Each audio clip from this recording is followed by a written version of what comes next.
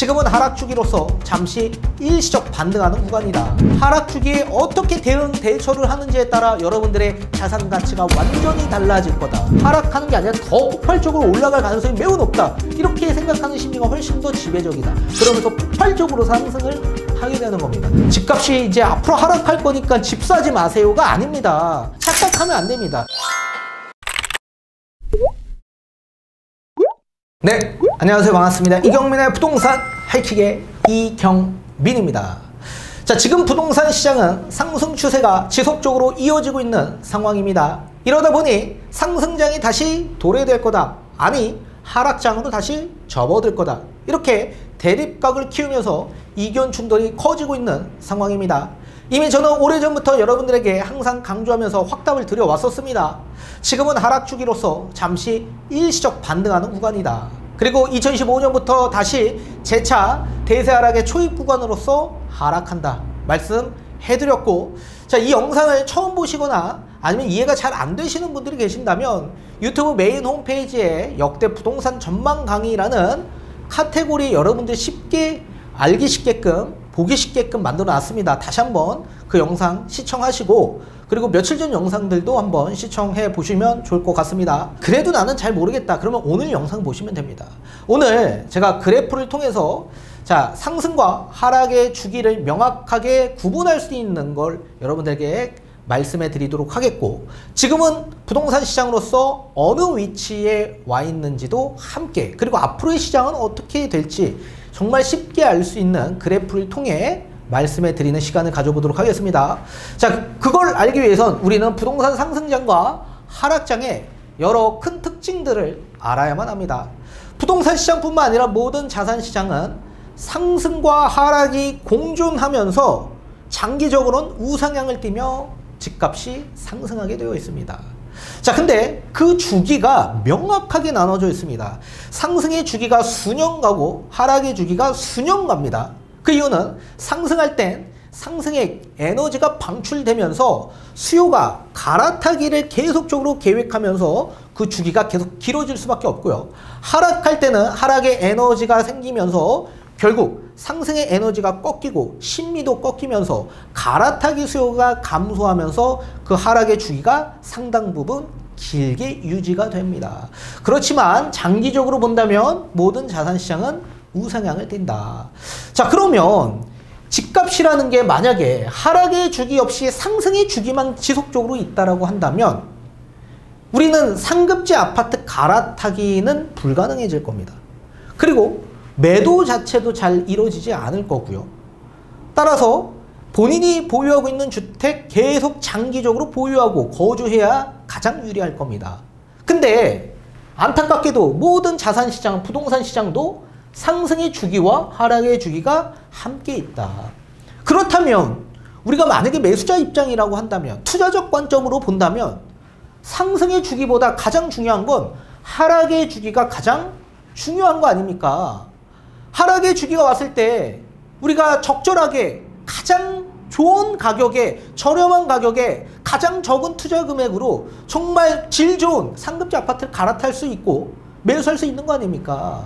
따라서 지금은 상승 추세에 있지만 제가 자꾸 하락을 강조하는 건 앞으로 재차 하락할 수 있는 구간에 좋은 기회가 있기 때문에 여기에 따른 전략을 세워드리고 그리고 적절하게 매수할 수 있는 좋은 전략, 적기 그리고 여기에 따른 계획과 대응 방안을 세워드리기 위해서 계속적으로 강조해드리고 있는 겁니다. 따라서 반드시 투자적 관점으로 접근을 해야 할 필요가 있다. 자, 우리 인생도 마찬가지 아닙니까?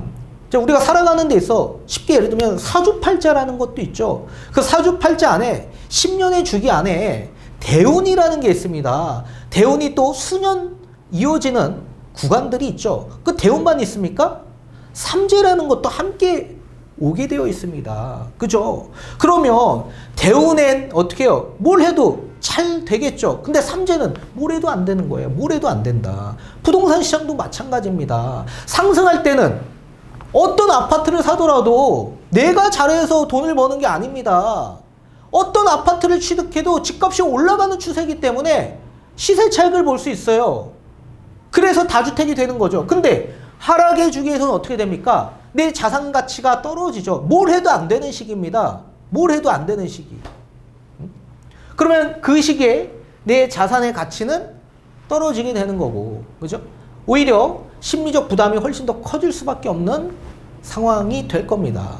반대로 하락 주기에 하락 주기에 좋은 발판, 상승의 발판을 만들 수 있는 부동산을 우리가 적절하게 저가에 매매한다면 얼마나 이상적인 겁니까? 따라서 지금은 하락 주기가 가장 중요하고 하락 주기에 어떻게 대응 대처를 하는지에 따라 여러분들의 자산 가치가 완전히 달라질 거다. 그래서 내가 잘해서 시세 차익을 보는 상승의 주기가 아니라 정말 내가 잘해서 시세 차익을 크게 볼 수 있는 하락의 주기가 여러분들에겐 가장 강조돼야 될 주기이기 때문에 제가 계속 강조해 드리고 있는 겁니다. 계속. 그래서 제가 2022년도에 여러분들에게 정말 핏대를 세우면서 강조해 드렸습니다. 제 영상 계속 보신 분들은 아실 겁니다. 그 시기에 22년 10월달, 23년 2월달까지 상급지 갈아타기 하셔라. 선매수 후매도 하셔라. 적절하게 지금 하셔야 된다. 근데 안 하신 분들 굉장히 많았죠.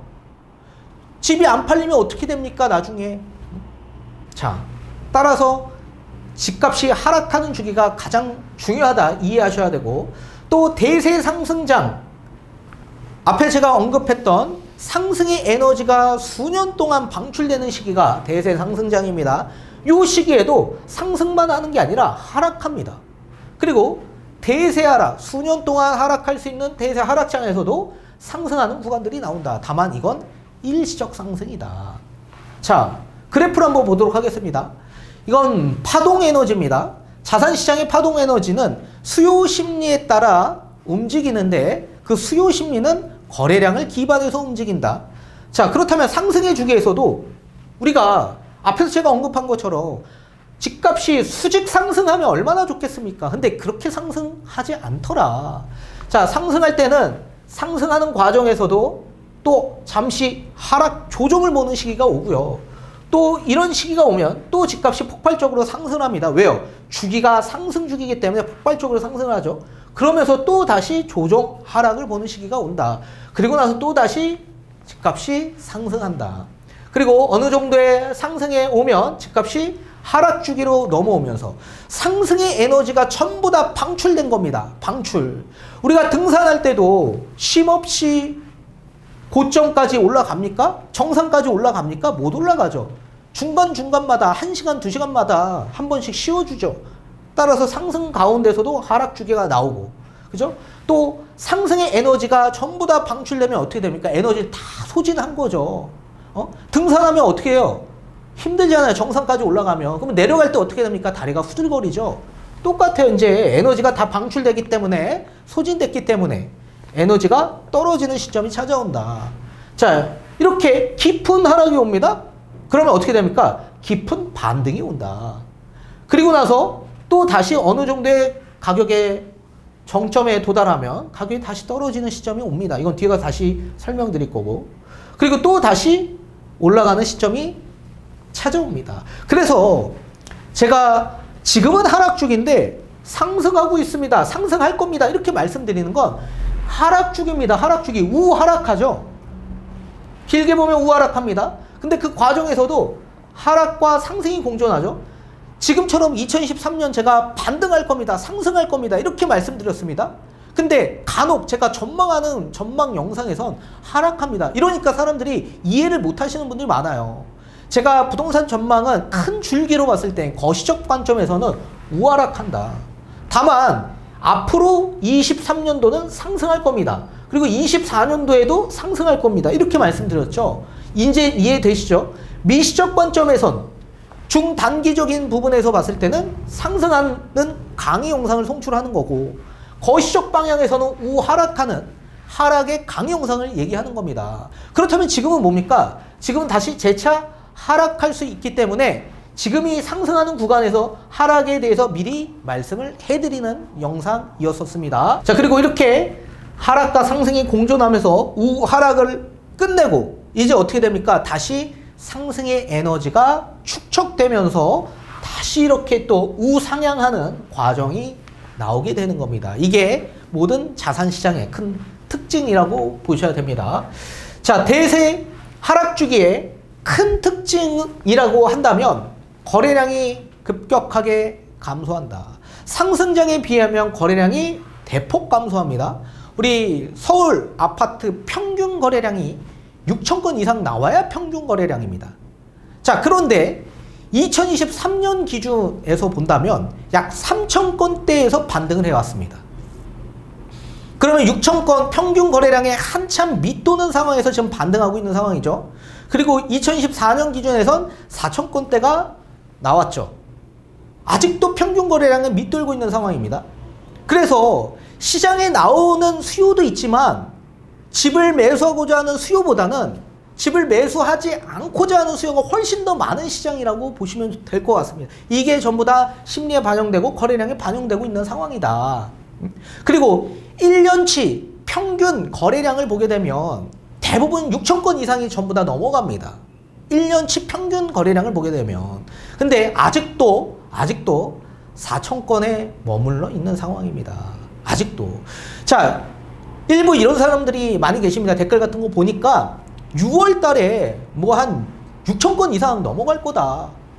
무슨 근거로 그렇게 말씀을 하시는 저는 이해를 할 수가 없습니다.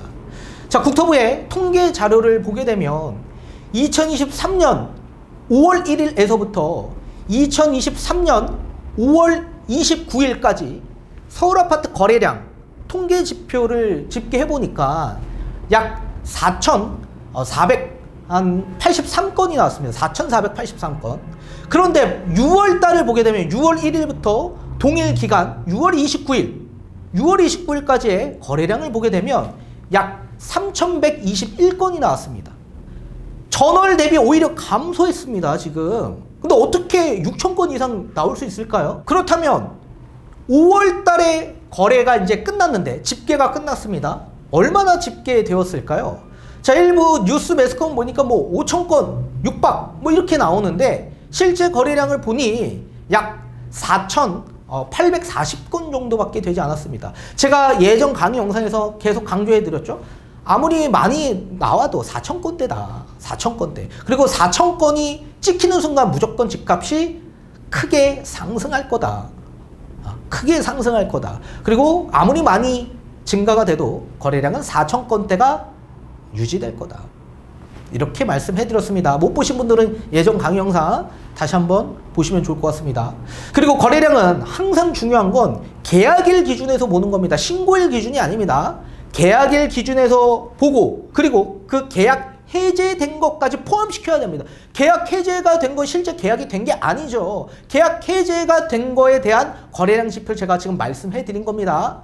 그래서 5월달 6천 건, 뭐 5천 건 이상 넘어갔다, 뭐 6천 건 될 거다 이렇게 저번 달에도 얘기가 나왔는데 아니었죠. 4,840건이 나왔다. 그죠? 그리고 다음 달에 뭐 6천 건 이상 넘어갈 거다? 3,121건밖에 되지 않습니다. 6월 1일부터 6월 29일까지. 근데 전월에는 얼마 나왔냐? 전월에는 4,483건이 나왔다. 그래서 전월 대비 지금 거래량이 오히려 감소된 상황이다. 감소된 상황. 자, 그리고 상승의 주기를 봤을 땐 상승의 거래량은 제가 뭐라 그랬죠? 1년치 평균 거래량이 6천 건 이상 훨씬 넘어가줘야 상승의 주기라고 할 수 있습니다. 그리고 그 상승의 주기마다 앞에서 보신 것과 같이 상승과 하락이 공존하면서 우상향하죠.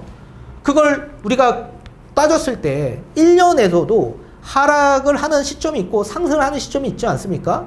이걸 1년치를 평균을 내도 6천 건 이상 나와야 상승 주기가 아 접어들었구나 이렇게 생각할 수 있다. 그리고 그 1년치 안에서도 1만 건 이상의 거래가 지속적으로 계속 매년마다 나오게 되어 있습니다. 아, 그래서 그렇게 보시면 지금은 3천 건에서 반등했고 4천 건에서 지금 상승하고 있는 상황이기 때문에 지금은 상승 주기라 할 수 없다 말씀해드렸고 그리고 전저점이라는 게 생성이 됩니다. 이게 하락 주기의 가장 큰 특징이다. 자, 정고점은 언제 만들어지는 걸까요? 상승의 주기에서도 정고점이라는 게 있을까요? 정고점이라는 게 없습니다. 자, 그러면 상승하는 주기에서도 대세 상승장에서도 이렇게 잠시 하락하는 구간. 그러면 직전 정고점이 여기 아닙니까? 이렇게 말씀하시는 분들이 굉장히 많이 계십니다. 여기가 전고점이라고 할 수 있나요? 그렇지 않다. 이 전고점과 전저점은 큰 하락폭이 크거나 또는 하락의 주기가 깊었을 때 나오는 겁니다. 근데 상승 주기의 하락 구간은 하락의 구간이 주기가 짧죠. 그리고 하락의 폭도 짧고요. 그런 반면에 22년도의 하락은 하락의 폭이 더 훨씬 더 크면서 하락의 주기도 굉장히 오래 갔습니다. 그죠? 그러면서 정고점이라는 게 만들어졌고 전 저점이 크게 반등하면서 전저점이 나왔죠. 크게 반등하면서. 어, 따라서 전고점과 전저점이 만들어지는 시기가 하락의 시기이다. 그리고 그걸 대세 하락장이라고 지칭할 수 있습니다. 자, 따라서 전고점, 이 전고점이라는 건 저항선이라고 지칭을 하고요. 전저점이라는 건 지지선의 역할을 어, 맡는다. 그래서 전고점과 전저점의 금액이 도달할 경우에 심리적 변화가 생기면서 거래가 급감하는 경우도 있고 거래가 증가하는 경우도 있더라. 자, 이렇게 보면 대량 매집되는 구간들이 있습니다. 어, 거래량이 엄청나게 터지는 구간이죠. 그래서 집값이 상승할 땐 거래가 엄청 터집니다. 이 상승장이 아까 제가 말씀드린 것처럼 1만 건 이상의 거래가 폭발적으로 나오는 시기가 매년마다 있습니다. 자, 근데 우리 집값이 상승하는 시기에 거래가 엄청 터지면서 상승하다가 어느 정도 또 상승을 하면 심리적 부담이 생겨서 거래가 조금씩 급감하면서 뚝 떨어지는 조정을 보는 시기가 있어요. 여기에 이제 규제 정책도 있기 때문에 떨어지는 시점도 있죠. 어느 정도 또 떨어지면 대량 매집이 터지면서 갑자기 폭발적으로 집값이 상승하고 거래가 터집니다. 그러면서 상승하다가 어느 정도의 또 금액이 오면 또 심리가 저하되고 또 여러 규제 정책 상승할 땐 규제가 나오니까 또 규제 정책으로 집값이 또 조정을 봅니다. 그죠? 그러면서 또 폭발적으로 또 저가에 매매하고자 하는 대량 매집 구간이 나오면서 또 집값이 폭발적으로 폭등하기 시작합니다. 자, 어느 정도 폭등하면 어떻게 됩니까? 상승의 에너지가 엄청나게 방출되니까 심리적으로 고점에 대한 인식, 심리적 부담이 생기게 되면서 이때부터 거래가 급감하기 시작합니다. 그래서 2021년을 기억해보면 거래 없이 몇 번의 거래로 신고가가 나오게 되었죠. 따라서 이때는 추격 매수가 계속 진행되는 구간이다. 상승의 주기는. 그래서 얼마만큼 상승될지 모르기 때문에 전고점이라는 게 없는 시점이기 때문에 꼬리에 꼬리를 물면서 계속적으로 상승하는 게 상승의 주기입니다. 반대로 하락의 주기에서는 조금 다르게 움직입니다. 집값이 고점입니다. 거래 없이 올라갑니다. 거래 없이 기반 없이 올라간 건 금방 무너진다라고 했습니다. 그죠? 그래서 부동산의 펀더멘탈이 약해지는 구간이 오면 시장이 급변하게 되면 가격이 뚝 떨어진다. 얼마만큼? 거래가 많이 터졌던 금액대까지 뚝 떨어지게 되는 겁니다. 그리고 요 정도 금액이 오면 또 거래가 막 생기기 시작합니다. 생기기 시작. 이게 2022년 뭐 4월, 5월 요 시점이라고 보시면 좋을 것 같습니다. 거래가 막 생기다가 어, 또 다시 상승하는 거 아니야? 거래가 터지고 상승하니까. 그런 또 생각을 가지고 있죠. 그러다가 가격이 무너지게 된다면 거래가 갑자기 급감하기 시작하면서 뚝 떨어지죠. 깊은 하락이 오고 하락의 주기가 깊어지니까 반등을 또 깊게 할 수밖에 없죠. 이렇게 주기가 길고 또 깊은 반등이 오면 전 저점이라는 게 만들어집니다. 그래서 어느 정도 가격이 올라오게 된다면 거래가 터지기 시작하죠. 거래가 터지기 시작하면서 아, 요 정도의 반등을 하니까 지금이라도 매수하자라는 심리가 생기면서 이제 대량 매집 구간이 생깁니다. 이러면서 집값이 폭발적으로 올라가면서 또 어느 정도의 가격선에 올라오면 또 거래가 급감하면서 관망세가 이어지죠.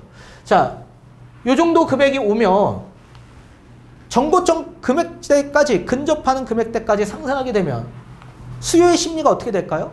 정고점을 뚫고 폭발할까? 상승할까? 아니면 하락할까? 어디에 배팅할 것 같습니까? 후자의 대부분 배팅할 겁니다. 만약에 정고점을 뚫고 폭발할 거다라고 했다면 이미 그건 거래량의 어, 지표에 집계가 되어 있었겠죠. 근데 지금은 거래량이 그렇게 뒷받침되지 못하는 상황이고 그리고 만약에 정고점을 뚫고 우리가 경험했던 2020년, 21년 그런 대세 상승장으로 전환이 되려면 엄청난 에너지를 또 한 번 방출해야만 합니다. 말이 안 되죠. 모든 자산 시장 그렇게 에너지가 방출되지 않기 때문에 그렇습니다. 따라서 우리가 깊게 반등한 만큼 더 깊게 상승을 해줘야 되는데 그렇다면 에너지가 엄청나게 방출이 되는 거죠. 그렇게 방출되지 않더라. 않더라. 따라서 요 정도 금액이 오면 또 거래가 급감하고 심리가 저하되고 고점 인식 21년도처럼의 고점 인식이 생기게 되면서 집값이 무너지게 되어 있습니다. 그리고 어느 정도 무너지면 또 기준마디 금액대까지 오면 또 이쯤에 거래가 조금씩 조금씩 터지기 시작하죠. 그래도 금액이 밀리게 되어 있죠. 자, 근데 요 정도까지 금액이 오게 됩니다. 그러면 또 사람의 심리가 전조점을 뚫고 더 하락할까? 아니면 이쯤 되면 매수할까? 어디에 배팅할 것 같습니까? 대부분 후자에 배팅합니다. 전 저점을 뚫고 하락할 수도 있다라고 생각할 수 있겠지만 바닥이 어딘지 모르고 이미 깊은 하락의 바닥을 봤기 때문에 요 정도 금액이 온다라고 한다면 저렴하게 느껴집니다. 그래서 이때는 대량 매집이 생기면서 또다시 금액이 올라가게 되어 있다. 그리고 직전 어, 정고점까지 근접하는 금액대까지 오게 되면 또 심리가 저하돼서 또 쭉 하락할 수 있다. 근데 여기서 중요한 건, 자, 다시 전저점까지 금액까지 재차 다시 하락할 수 있다고 제가 강조하고 있는 겁니다. 근데 이렇게 다시 전저점 금액대까지 재차 하락할 수 있는데 그 재차 하락할 수 있는 가장 큰 이유는 수요자든 같은 경험을 반복할 경우에 신념이 굉장히 굳어지게 되어 있습니다. 자, 이 얘기는 무슨 얘기냐? 집값이 상승하는 상승 주기를 보게 되면 집값이 상승을 쭉 하게 됩니다. 그러다가 갑자기 조정을 보면서 하락하죠. 어? 집값이 하락하는 거 아닐까라는 심리가 생기는 시점에 또 다시 집값이 큰 폭으로 올라갑니다. 그러다가 또 다시 하락 조정을 봅니다. 그럼 심리가 어떻게 될까요? 어, 또 하락할까라는 심리가 생길까요? 아니면 다시 폭발적으로 올라갈까? 이런 심리가 생길까요? 다시 폭발적으로 올라갈 거다. 이런 굳은 신념이 생기게 됩니다. 왜냐? 한 번 경험을 해봤기 때문에 그렇습니다. 상승하다가 하락했는데 하락할 거라고 생각했는데 다시 폭발적으로 상승합니다. 그리고 다시 하락합니다. 어떻게 되죠? 한 번 경험했죠. 한 번 경험. 그래서 본인이 재차 한 번 경험한 거는 다시 두 번 실수를 하지 않게 하기 위해서 아 하락하는 게 아니라 더 폭발적으로 올라갈 가능성이 매우 높다 이렇게 생각하는 심리가 훨씬 더 지배적이다 그러면서 폭발적으로 상승을 하게 되는 겁니다 하락할 때도 마찬가지입니다 하락할 때도 집값이 큰 폭으로 하락합니다 큰 폭으로 하락했어요 근데 엄청난 큰 폭으로 반등을 합니다 어 집값이 정고점을 뚫고 폭발할 거라고 생각했는데 오히려 반대로 쭉 하락합니다 하락합니다 그래서 어, 더 하락하는 거 아닐까 했는데 다시 반등합니다. 근데 반등을 하는데 예전 직전 거래 금액보다 더 낮은 금액 수준밖에 상승되지 못합니다. 그러면 어떤 심리가 생기게 되겠습니까? 더 폭발적으로 올라갈 거다라고 생각하겠습니까? 아니면 더 내려갈 거다라고 생각하겠습니까? 한 번의 경험을 하지 않았습니까? 대세 상승장으로 전환할 거라고 생각을 했는데 집값이 하락했습니다. 그리고 다시 반등을 했는데 어 이거 상승하지 않았었는데 이 시기에 이 시기에 상승할까? 근데 갑자기 하락합니다. 그러면 신념이 엄청나게 굳어집니다. 아, 완전 하락이구나. 그러면서 집값이 뚝 떨어지면서 전저점 금액대까지 다시 떨어지게 될 겁니다. 다시. 이게 파동 에너지에 따라서 자산 시장이 움직이기 때문에 그렇다. 따라서 하락장 그리고 상승장의 그 특징과 주기를 명확하게 이해하셔야만 합니다. 그리고 하락장에서 상승장으로 전환이 되려면 여러 큰 특징들, 요인들을 가지고 있어야 됩니다. 자, 그 큰 특징으로선 박스권에 대량 매집 거래가 일어날 수밖에 없고 그리고 전세가율이 65에서 70% 수준까지 회복돼야만 한다. 자, 하락의 바닥, 바닥을 끝내고 대세 하락의 바닥을 끝내고 다시 대세 상승장으로 전환될 수 있는 구간이 찾아온다라고 합니다. 이때 가장 큰 특징은 대량 매집이 터집니다. 그 대량 매집은 1만 건 이상의 거래가 터진다는 얘기입니다. 근데 가장 큰 특징은 거래가 터지는데 박스권에 거쳐서 거래가 터진다. 예컨대 10억에서 11억 구간이 있고 12억 구간이 있습니다. 근데 12억까지 상승되면 좋겠지만 거래가 많이 터져서 12억까지 상승되지 못하고 10억에서 11억 구간에서만 대량 매집이 터지면서 거래가 엄청나게 터집니다. 이 시기에는 매도하고자 하는 수요도 많지만 매수하고자 하는 수요가 굉장히 많은 시점이다. 그리고 그 시점이 도달하면 전세가율은 지금보다 훨씬 더 높아져야만 합니다. 그래서 전세가율이 65에서 70% 수준까지는 올라가줘야만 한다. 따라서 지금 부동산의 상승장과 하락장의 특징들을 알아야지만 지금 어느 시점에 우리가 위치하고 있고 앞으로 상승장이 오려면 어떻게 어, 요인들이 어떤 요인들이 발생이 되고 또 하락 주기에는 어떤 요인들이 발생되는지 알아야지만 대응 대처가 가능하다. 그렇다면 지금의 위치는 어디에 위치하고 있냐라고 한다면 지금은 이쯤에 와 있다. 이쯤에. 그래서 2025년에 다시 하락하고 그죠? 그리고 또 2020 뭐 한 6년 요 시기에 또 다시 반등할 수도 있죠. 잠시 이렇게 반등하지만 제가 말씀드리는 대세 하락의 정점기는 27년, 28년 정도에 다시 대세 하락의 정점기가 찾아올 거다. 그리고 29년, 30년이 돼서 다시 대세 상승장으로 전환될 수 있는 구간이 오게 될 거다. 이렇게 말씀해 드리고 싶습니다. 따라서 제가 강조해 드리는 건 집값이 이제 앞으로 하락할 거니까 집 사지 마세요가 아닙니다. 착각하면 안 됩니다. 그러면 또 그 시기 때까지 기다렸다가 현금 들고 있다가 그때 매수해야 되는 겁니까? 이렇게 어리석은 질문 안 하셨으면 좋겠습니다. 현금을 들고 있는 개념이 아닙니다. 현금화 시킬 수 있는 자산을 확보해야만 합니다. 그래서 여러 가지 전략들을 세워야 되고 여러분들한테 이렇게 얘기해 드리고 그리고 이 얘기를 본인한테 그냥 직접적으로 대입하는 분들 굉장히 많이 있습니다. 전부 다 실패합니다. 전부 다. 개개인마다 자산, 부채 현황, 포트폴리오 전부 다 다른데 어떻게 똑같은 주기라고 하더라도 똑같이 돈을 똑같이 벌 수 있겠습니까? 전략이 달라야 되지 않겠습니까? 계획도 달라야 되고. 그죠? 그래서 대응 대처가 전부 다, 다 다르다. 따라서 다시 한번 여러분들 직접적으로 대면 상담 통해 계획과 전략 잘 세우셔야 되고 적절하게 주택을 지금 취득해도 되시는 분들이 따로 있으십니다. 그런 분들은 취득하셔야 되고 그리고 고점에 누군가가 매수했다고 하더라도 실망하지 마십시오. 거기에 따른 전략이 다 있습니다. 아, 다 있습니다. 그래서 계획을 잘 세우셔야 됩니다. 저도 마찬가지, 저도 마찬가지 투자자입니다. 그리고 다주택자입니다. 그래서 거기에 따른 여러 가지 전략을 세워야 되는데 저는 이미 전략이 세워져 있기 때문에 다주택으로 가는 겁니다. 근데 전략 없이, 계획 없이 다주택으로 가신 분들은 지금 뭐예요? 전부 다 물린 거 아닙니까?